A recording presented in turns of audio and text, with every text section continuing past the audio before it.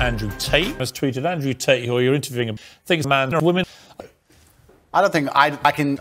If you're prepared to listen to me, I'll explain to you exactly why she's out. Do you think women are a man's? Absolutely not. This is one of those randomly homophobic people. What is I'm, your view of women? I'm a racist. What is your real view of women? I absolutely not. Where is the please women? I've been cancelled since I've the, please. Also, there's not anybody else with my level of 36 years long ever. Anybody else with my level of fame, any of a crime from my past on the street since I've raped every single man ever since I've. The, please, please let me finish. All right, you.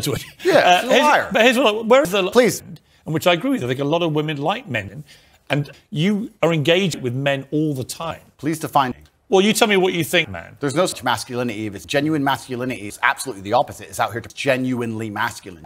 He's not here to hurt people. And when bad things happen, they call traditionally masculine men. If you need a fighter, you need fire men. If you need a firefighter, you need a masculine police because of the problem you have. When you look, you look for trouble. You want woman. Where did you get your views about this from? Is what I grew up with. It's your mother. Yeah, both? I think a lot of the things I'm saying now about me and how people should act in the world for me to stand up and say a man should, should fuck a woman, I think the world's just lost its mind. He called him a soul. If I said that 10 years ago, everyone would say men shouldn't. What do you say to young men who come to you for advice, who feel lost, who don't really know where they fit into society? I say that to women, especially all the feminists, are men. Exceptions do not disprove the rule.